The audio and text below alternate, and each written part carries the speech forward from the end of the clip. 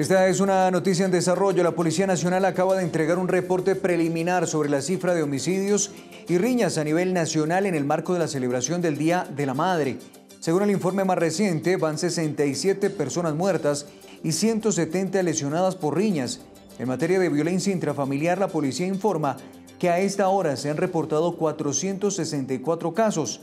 En cuanto a incautación de armas, van 1099 en su mayoría de cortopunzantes, además de la captura de 835 personas por diferentes tipos de delitos.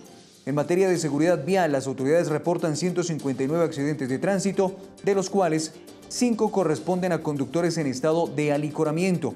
Se espera que el informe completo de la jornada se conozca en las próximas horas.